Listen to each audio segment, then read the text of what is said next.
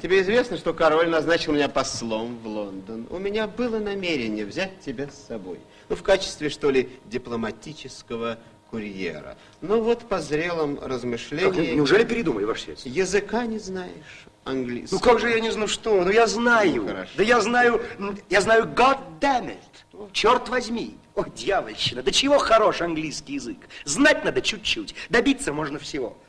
Кто умеет говорить God damn it, черт возьми, тот в Англии не пропадет. Вам желательно отведать кусочек хорошей, жирной курочки. Зайдите в любую харчевню, сделайте так, больше ничего. God it, и вам подают э, солонины без хлеба. Какая прелесть, ваше сельство. А вам захотелось отведать стаканчик превосходного бургундского шампанского. Зайдите в любую харчевню, сделайте так. God damn it, и вам подают э, пиво в жестяной кружке с белой пеной до краев. Какая прелесть, ваше сельство. А вы встретили одну из тех милейших особ, которые семенят, опустив глазки, отставив локотки назад и слегка покачивая бедрами. Изящным движением приложите кончики пальцев к губам.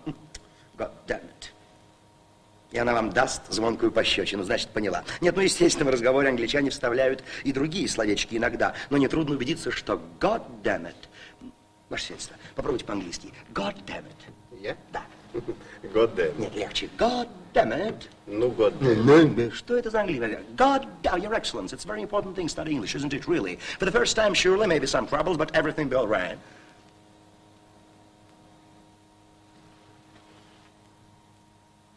Чего ты хочешь? Ваше сельство, если у вас нет других причин оставлять меня здесь. Ему хочется в Лондон, она ему ничего не сказала.